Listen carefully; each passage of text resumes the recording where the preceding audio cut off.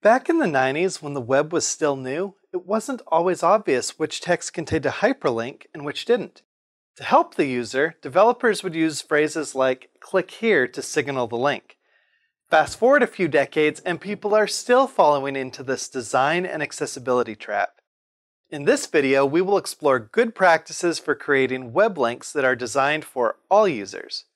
So here are four reasons why Click Here fails. 1. Clicking is for mice. We tap mobile devices, and assistive technology devices often use the keyboard or other features to navigate. It's just out of date terminology. Number 2. Screen readers can't provide useful information. If all the links on a page say click here, when someone who is visually impaired has their screen reader make a list of links, this is what they would hear. There are eight URLs on this page. URL 1, click here. URL 2, or here. URL 3, or here. URL 4, click here. URL 5, click here. URL 6, click here. URL 7, click here. URL 8, or here. 3. Click here lacks context. When we are quickly scanning a page and we see click here, we have to stop, back up, and then read what the click here was referring to. Number 4. Click here is useless for search engines, and if Google misses out on information, you miss out on visitors. Here are some suggestions to combat poor link design. Ask yourself, where does this URL lead? What will it do?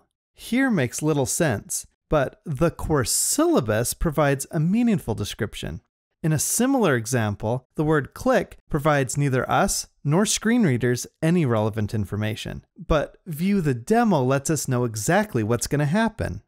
Avoid writing out the entire URL unless you are designing a document intended for print. This is what a link sounds like if you use its URL.